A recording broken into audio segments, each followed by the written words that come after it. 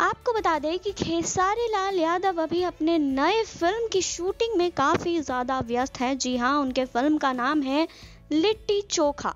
आपको बता दें कि इस फ़िल्म की शूटिंग वो काजल राघवानी के साथ कर रहे हैं और फ़िल्म की शूटिंग में काफ़ी ज़्यादा व्यस्त हैं खेसारी लाल यादव, लेकिन फिर भी वो अपने फैंस के साथ हमेशा ही कनेक्टेड रहते हैं।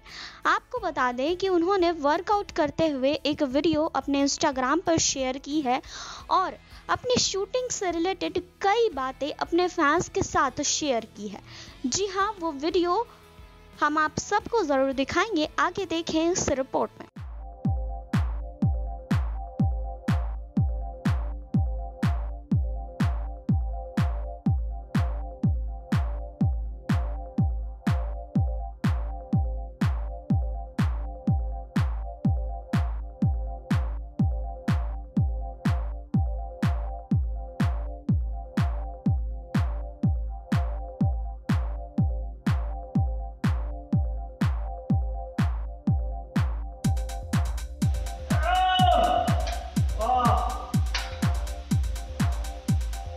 हाँ। और फिर से एक बार नमस्कार। आज मैं बुंदेलखंड में हूँ। कौन सी जगह है? कांदा बांदा जिला में। क्योंकि सरकार का बड़ा कॉपरेशन और यहाँ के लोग बड़े प्यारे हैं। प्यार वो बहुत करते हैं मुझे और सम्मान भी। यहाँ का हर बच्चा जो मेरे से छोटा है वो पैर छूता है बड़ा अजीब लगता है। बट ये संस्कार है इस धरती पे वो मुझे बड़ा बहुत अच्छा लगा।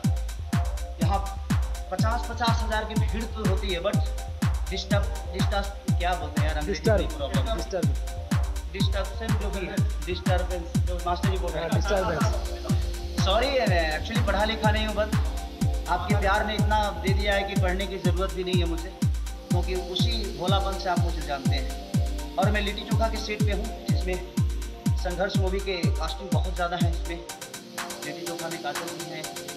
संजय महानंद पराग पाटिल, हमारे प्रदीप शर्मा जी पदम भैया, बहुत सारे लोग हैं जो कि प्यार दे रहे हैं और आशीर्वाद भी दे रहे हैं मनोज टाइगर जी।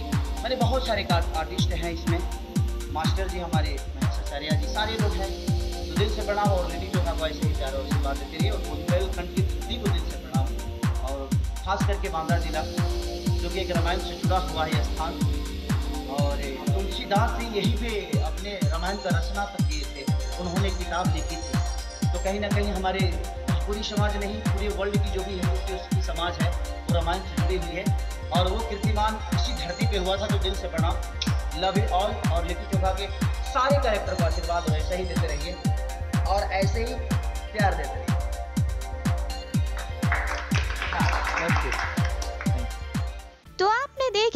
खेसारी लाल यादव की ये वीडियो कि उन्होंने अपने फ़िल्म को लेकर कई सारी जानकारी अपने फैंस को दी है।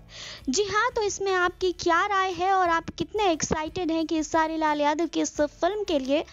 हमें कमेंट बॉक्स में ज़रूर बताइए। बाकी और खबरों के लिए जुड़े रहिए हमारे साथ। नेक्स्ट नाइन भोजपुरिया से सुरभि की रिपोर्ट